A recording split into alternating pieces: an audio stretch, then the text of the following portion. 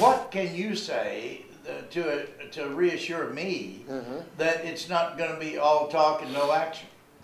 Um, there will be a lot of action, but we have to, and it's not a but that has to do with me. I have to work with the council to start changing the priorities. For example, the traffic lights cannot be done by themselves. But you can tell right now they cannot be done because they never really placed it as a priority.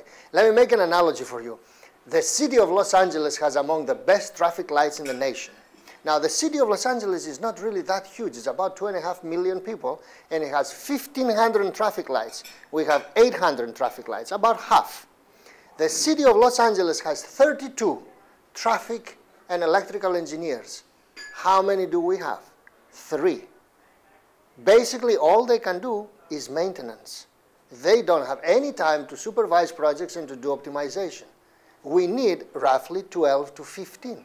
A quicker way to do it, because you cannot hire 15 people like this, is, and they tried it, but they didn't actually install it, is to get outsiders to provide you with the signal settings, pay for one salary, punch them in the system, and then the system is done.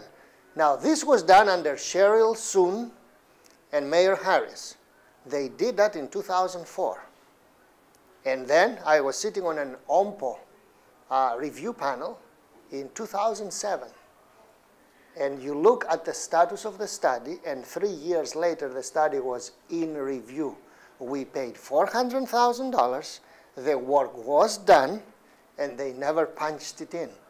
I mean, you are supposed to punch this in within three to four months because the feds have a rule that signal timings drift every three to five years and you have to redo that. So you have to have it in the budget.